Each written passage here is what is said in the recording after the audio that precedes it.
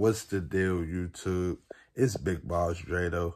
The one and only Big Boss Dredoe. Won't be another one. Now check it. Headline. Update on Damar Hamlin's injury. Now, um, as we all know, um, he got injured in the Monday night game against Cincinnati. Now, um, he collapsed on the field. Um, and you know, um, they they basically had to bring him back twice since Monday. Um, now today is Thursday, and the and the family finally released something. Great news. Um, Damar Hamlin's eyes open back up, and um, he's responsive.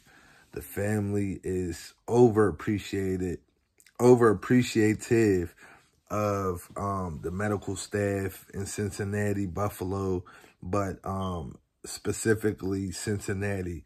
Um, they just expressed their feelings on how, you know, how they took great care of Damar Hamlin, how they still are.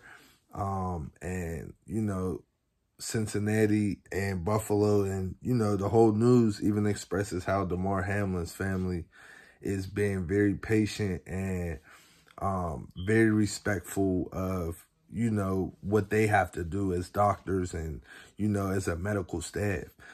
So that's the good news that Damar Hamlin is family. He has opened his eyes and he is responsive. Um, I'll give y'all more of an update when I know more. Um, I appreciate y'all tapping in. Keep tapping in, man. I got updates on everything coming to y'all soon, man. Till next time, it's Big Boss Dredoe. The one and only Big Boss Dredoe. Won't be another one. Yiddy!